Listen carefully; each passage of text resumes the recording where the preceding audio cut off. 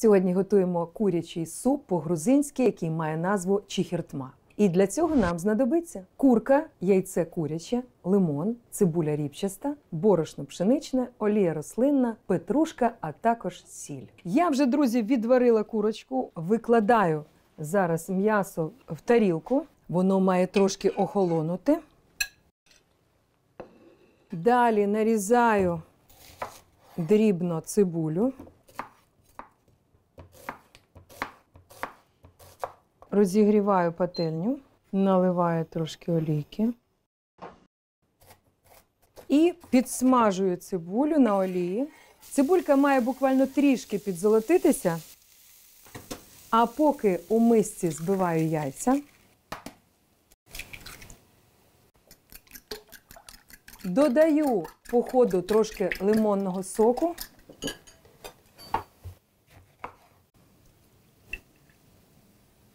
Продовжую збивати. А взагалі зазначу, що чехіртма це той суп, в якому ви не знайдете овочеву гущу. А саме з цієї причини страва стала надзвичайно популярною, адже в ній можна наповно насолодитися саме смаком м'яса. Цибулька стала якраз золотистого кольору. Викладаю окремо на тарілку. А далі на сухій пательні треба підсмажити борошно. За рецептом у нас 3 столові ложки. Але будьте уважні, борошно ні в якому разі не можна перегрівати, аби воно не змінило колір. Відчувається вже аромат. Це саме та мить, коли треба додати стакан бульйону.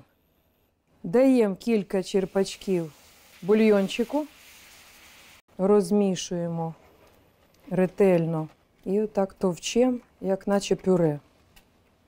Борошняну суміш я додаю до бульйону, а також додаю підсмажену цибульку. Трошки проваримо наш бульйончик з борошном і цибулею. Гарно прогріли. І тепер додаю збиті яйця з лимоном. Тоненькою цівочкою, потихеньку, помішуючи.